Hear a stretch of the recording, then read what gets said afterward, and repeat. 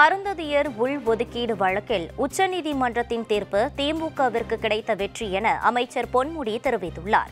சென்னை சைதாப்பேட்டையில் உள்ள திறந்தவெளி பல்கலைக்கழகத்தில் நடைபெற்ற விழாவில் பேசிய அவர் இந்தியாவின் அரசியல் அமைப்பு ஒரு தனி மனிதனால் எழுதப்பட்ட அரசியல் அமைப்பு எனவும் அதில் என்ன எழுதப்பட்டிருக்கிறது என்பதை மாணவர்கள் படித்து தெரிந்து கொள்ள வேண்டும் என்றும் குறிப்பிட்டார்.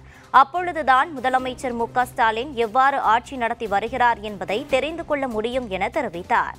நம்முடைய இந்திய நாட்டினுடைய இருக்கிற நிலைமை எக்கனாமிக்கலி ஃபார்வர்ட் பேக்வேர்டுங்கிறது கிடையாது. சோஷியலி அண்ட் எஜுகேஷ்னலி என்ற நிலைமையைத்தான் உருவாக்க வேண்டும் என்று அவர்கள் சொன்னார்கள்.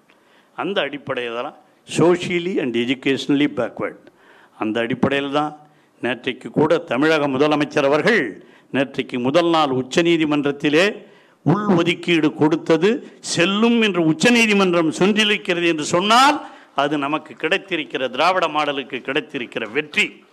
யாரும் மறுக்க முடியாது.